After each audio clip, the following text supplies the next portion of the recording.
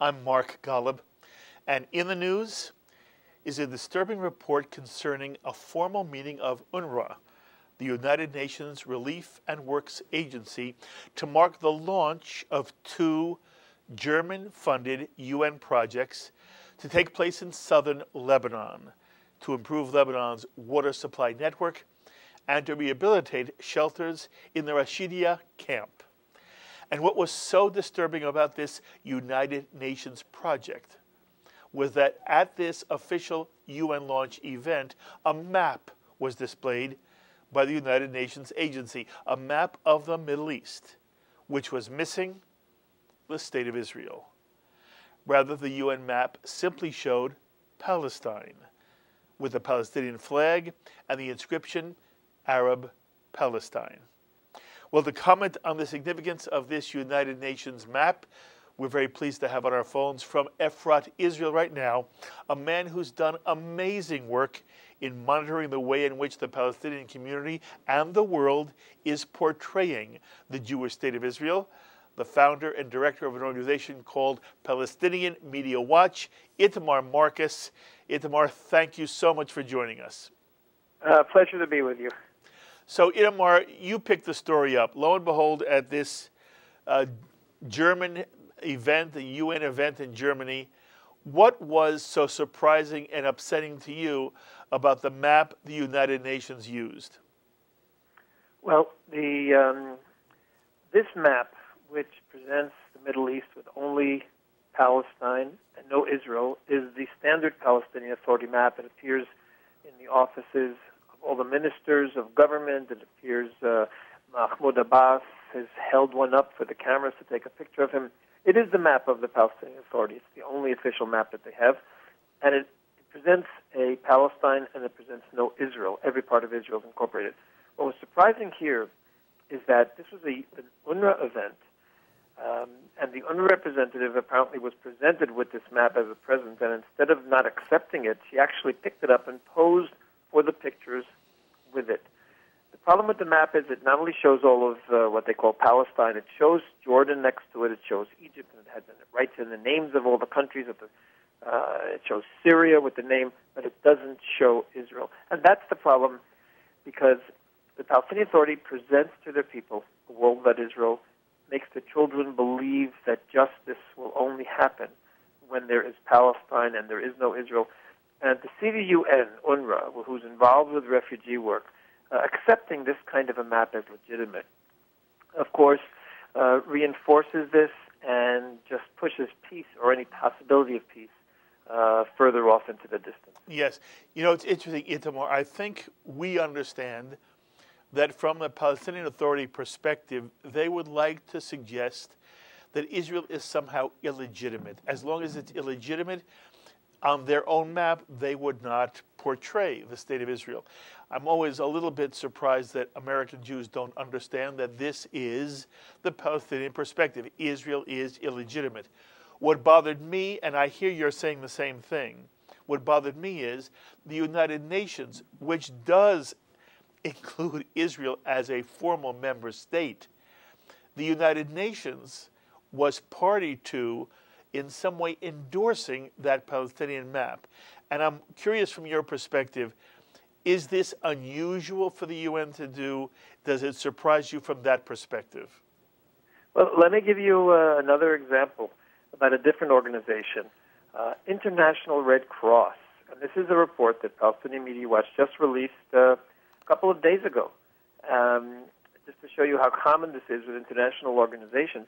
International Red Cross participated in a, in a Palestinian tree planting um, uh, tree planting event, um, which was honoring the 150th anniversary of the International Red Cross. They planted 150 trees together with the Palestinian Red Crescent. But get this the trees were all named. Each one of them was named after a different, what they called veteran prisoner which means prisoners who've been in jail for probably over 20, sometimes 30 years, which means in almost all cases you're talking about murderers. Mm-hmm. So the International Red Cross this week participated in a tree planting event honoring 150 terrorist murders. This, this is the International Red Cross? International Red Cross, exactly. So you see, in the same week, you've got an UNRWA event, uh, you've got an International Red Cross event, um, and they're going along with Palestinian ideology. They're participating in these events, giving sponsorship. The, the International Red Cross had no reason to, to, to honor terrorists just because the Palestinian Authority does. They were invited to celebrate this way. They should have said, sorry, we don't participate in honoring terrorists. The same way that UNRWA should have said, uh, the, the UNRWA representative in seeing that map say, I'm sorry, I don't accept a map like that because there is no Israel on that map. Mm-hmm. The UN, the International Red Cross, all these international organizations who present themselves as promoting peace by going along with all of the Palestinian Authority terror promotion and hate promotion are have become a major part of the problem. Mm-hmm. They're giving legitimacy when the Palestinians see that international organizations accept this, they conclude that it's actually fine, it's actually okay. Itamar, how long have you been doing this work? Doing this since 1996. Since 1996. And I ask you because, from your perspective, as you have an overview here, has it gotten worse of late, or is this simply the status quo that you've experienced for what, 20 years? It's, uh, I would say it's definitely gotten worse of late. Um, there were, the, basically, there are periods and each period has its own problems. During the period of what they Palestinians call Intifada, what we call the, the terror campaign, during the terror campaign from 2000 to 2005, there were explicit and continuous calls from the official Palestinian Authority structures for the killing of Jews. Uh, not only killing of Jews, killing of the Jews was V. Was presented as mandatory in the name of Islam. Uh, terror every terrorist who killed was, was presented as a, as, as a glorious hero and uh, was, was given. And, and suicide bombers were all called shaheeds, which means holy Islamic martyr, uh, which could not be, which is only describing some of it as a positive action.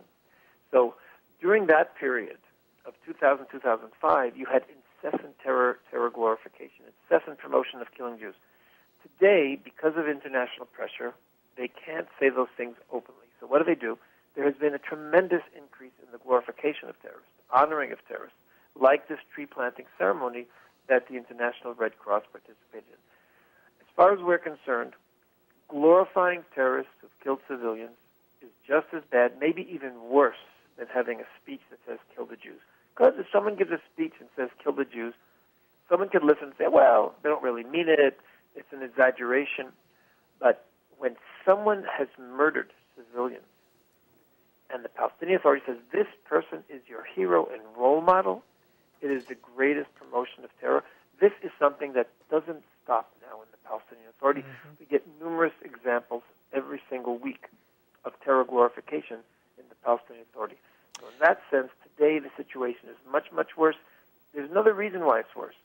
The international community has stopped complaining to the Palestinian uh, in the past, when they would glorify terrorists, there would be complaints, there would be letters written by congressmen, senators.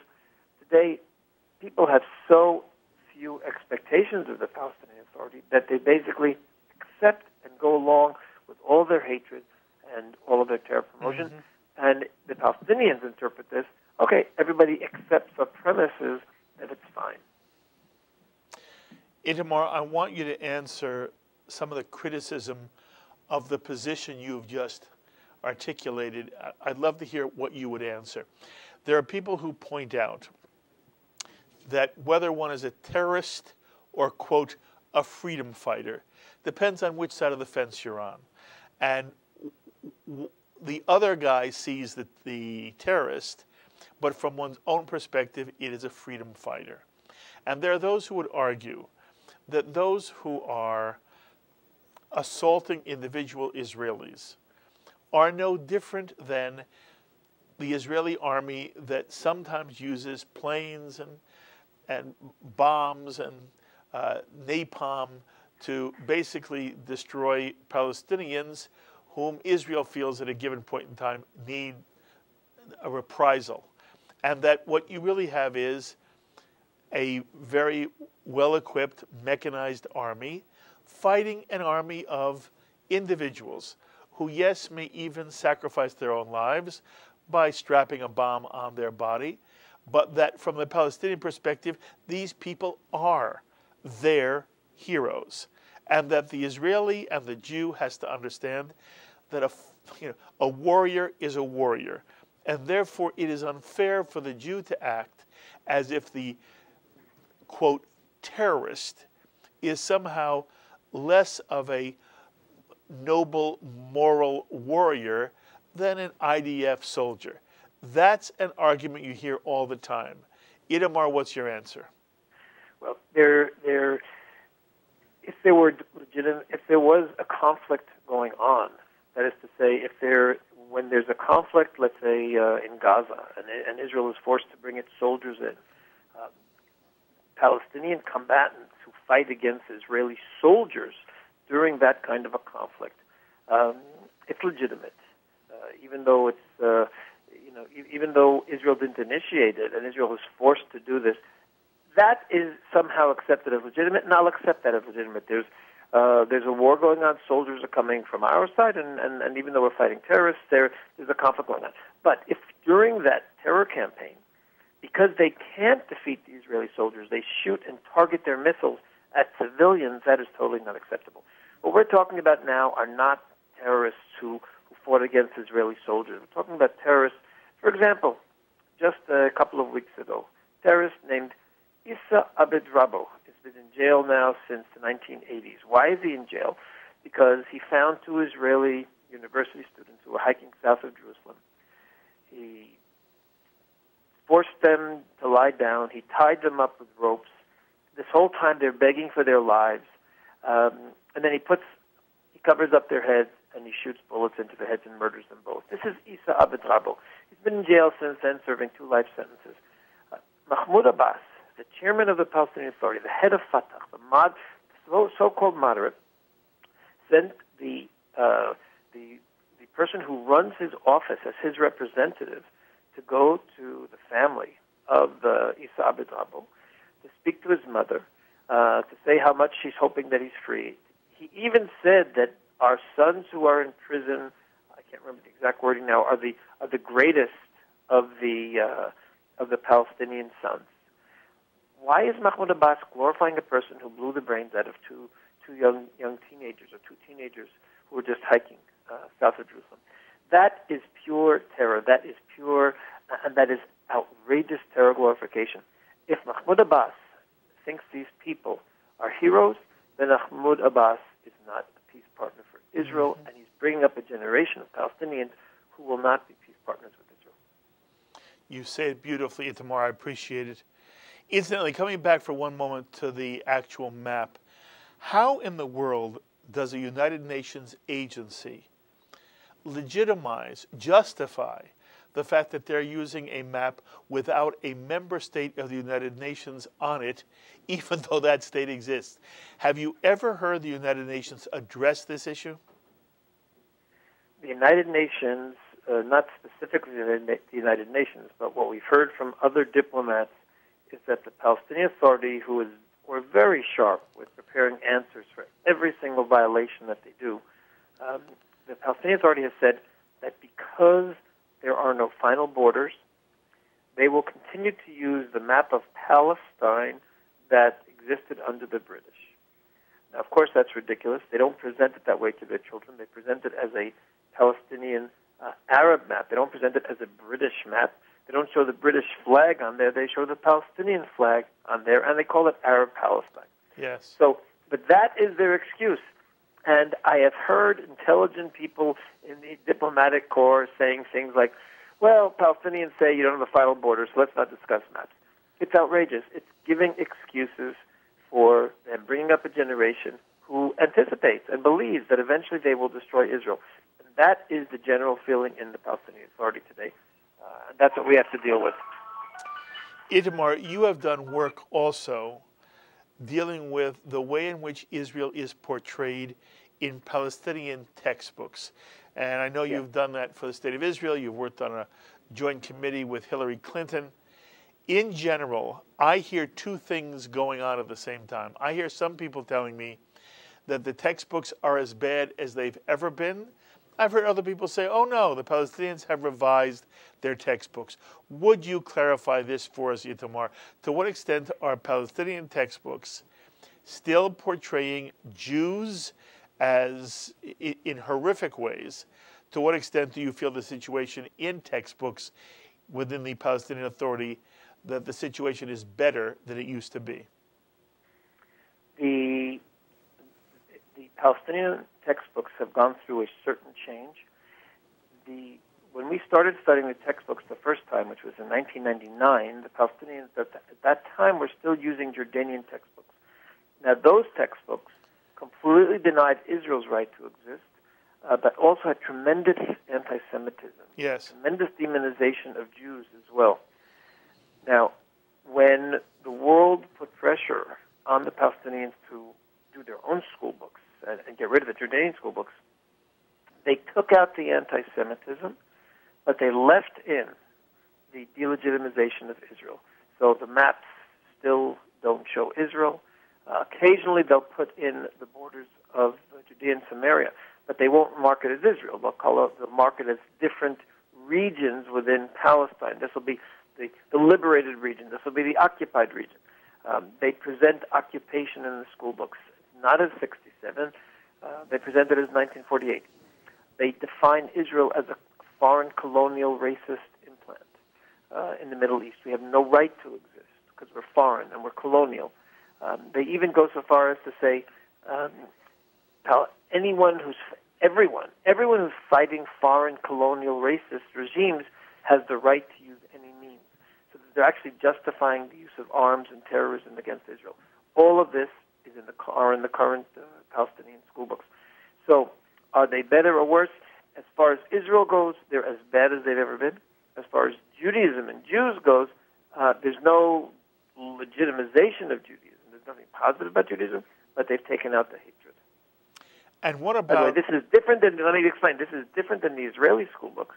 Israeli school books not only have nothing negative about Islam and Muhammad, but they all learn about Islam and Muhammad. Children learn about about Islam as as one of the three major um, uh, monotheistic religions, and, and, nothing negative at all is presented about it. So um, it's presented even positively.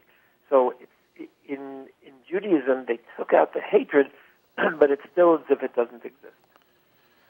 And what about your review and your analysis of what Palestinians see on Palestinian television?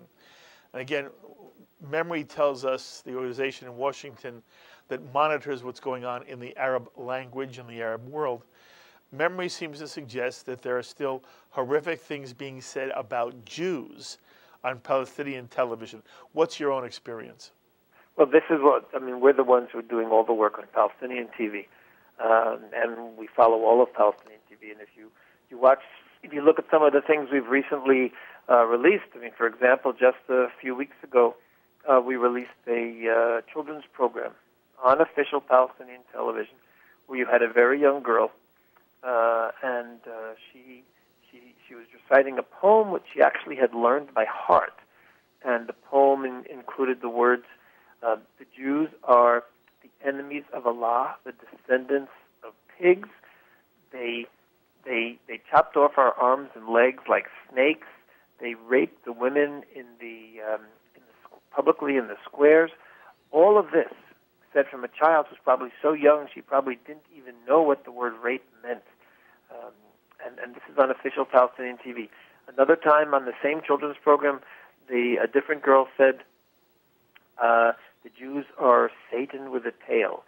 Few weeks later, uh, a different girl on a different program said the Jews are Satan with a tail. So what we're getting is incessant demonization. Uh, this on the children's level. Then you, on the adult level, you'll have things like the uh, the um, the deputy minister of prisoners saying things like um, Israel has to remember that we're in the uh, 21st century, and the prisons can't keep the prisons, which are so bad they're worse than the Auschwitzes of the Nazis. Worse than the Auschwitzes. That's how the Palestinian prisons he, he claims are, um, which of course is is, is absolutely total, total libel. The, the prisons are absolutely, some people call them actually country clubs. Uh, the conditions are so good for Palestinian prisoners. but this kind of libel. So you have incessant demonization. The problem isn't the TV. The problem is the leadership. This is a minister saying this. Um, we had a mayor of a city saying that Israel, uh, also recently, Israel makes ammunitions shapes of um, toys and pencils that children will find ammunition on the ground that didn't explode and will pick it up and will be killed. And he said this proves that Israel is targeting Palestinian children. Again, a total, total lie. Israel treats thousands of Palestinian children every year in its hospitals. And here you have a mayor on TV saying Israel is targeting Palestinian children and making making munitions that look like toys. So the problem isn't the TV. The problem is the leadership who wants its people to hate Israelis, wants its people to hate Jews. They demonize, uh, deny a right to exist, and a generation is growing up in the Palestinian Authority filled filled with hatred for this demonic people that they've been presented with, these demonic Jews and this demonic Israel state. Itamar, as I hear you describe the situation on the ground, in the textbooks, on Palestinian television, it's hard to find reason for hope without being, you know, sort of like a romantic, naive child. And you know, the Jew always says, we will continue to hope, we'll continue to strive for peace, we'll try to encourage those within the Palestinian community who want peace to be more and more secure, to be more and more vocal, and to be more and more visible. But as I hear you describe the situation, Itamar, from a realistic perspective, is there any reason to hope that there will be a change in the relationship between the Palestinian community and the Jewish community of Israel in the near future? Certainly, no reason to believe there'll be a change. Uh, the, the demonization that the Palestinians leadership has given its people has nothing to do with territory. The, the myth that if Israel were to run away from land, that it, uh, that it certainly has as much right to as anyone else. But uh, theoretically, if Israel were to run away from it in the interest of peace, there's nothing that would. A child who learns that Israel is the enemy of Allah and descendant of a pig that stigma does not go away if the borders change. If Israel is Satan, that doesn't go away when the borders change. That's the key to the Palestinian Authority demonization. They're demonizing not Israel's policies, but the essence of Jews and the essence of what we are. And that'll never go away, and that'll never change. And that's why there's absolutely zero reason for hope to be any change in, this, in the near future. The only reason for hope is that we have been doing a lot of work with foreign countries that fund the Palestinian Authority uh, in Norway now, there's some kind of a, almost a governmental crisis going on there because of the way they've been funding blindly the Palestinian Authority. Britain has similar things happening. Um, in, in, in Denmark, there's been a debate in Parliament. Um, we're hoping that eventually enough governments who fund the Palestinian Authority will realize where their money is going, will insist that the Palestinian Authority change their ways um, or not get any money. The Palestinian Authority needs money uh, and presumably, hopefully, will decide to to change. Uh, and so there, there's the only hope for peace there. The Palestinian mm-hmm. Authority can't keep their promotion of hatred without the influx of funds from around the world. And we're hoping that once the world uh, and enough leaders find out about this and decide to take a stand on this, I think they'd be able to force a change. Now, once there will be a change, it will be years before all of this hatred and demonization is erased from the Palestinian psyche before Palestinian children learn that Israelis have been actually great neighbors to them. It will be many years. But that is the first step we're waiting for. Uh, and based on our successes in Europe uh, and the United States, Canada, Australia, um, there is a slight reason for hope, but we're talking about very, very long way down the line. Yes. But we talk for just 30 seconds on one side point here. To what extent do you think the American administration understands the dynamic you've described for us? To what extent are they sensitive to it and realize that it is an obstacle that has to be overcome, much more than the issue of settlements? But take 30 seconds, and where do you see the U.S. administration understanding? To what extent does the U.S. understand what you've just said? There are many members of Congress who understand. I've spoken to many members of Congress just a few weeks ago there was a delegation of members of Congress there, including um, the head of the Foreign Affairs Committee Ed Royce, the ranking Democrat uh, at Engels, uh, Anita Lowey from the Appropriations Committee. They all heard my presentation. They all understood it. Um, there's legislation underway now that's been written by Engels and Royce, which incorporates a lot of, in fact, the entire legislation is, is, is basically based on Palestinian Media Watch findings, which would prevent the funding of the Palestinian Authority um, if they don't uh, change basically all of their hate promotion on every different level and start promoting peace. If that legislation passes Congress, um, it will have a monumental effect on the chances for peace because the Palestinian Authority would have to decide do you want the hundreds of millions of dollars a year from American money or will you start teaching peace? And if they're presented with that choice, and if they're presented with that choice around the world, they won't have any choice but to change their ways, erase the hatred, stop promoting peace. So um, the American Congress is aware. I don't know if the administration is aware to the same extent. We're hoping that Congress and Senate can create the legislation and bring the administration along. Itamar Marcus, I love talking to you. I appreciate enormously the work you're doing with Palestinian Media Watch. I wish you kol tuv hatzlacha, and whenever we're near each other, we'll sit face to face. Thank you, and uh, from strength to strength, Itamar, you keep doing what you're doing. Thank you very much. Be well.